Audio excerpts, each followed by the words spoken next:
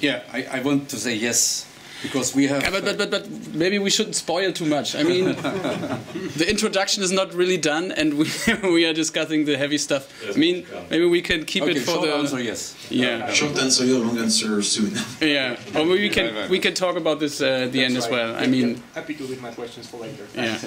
cool.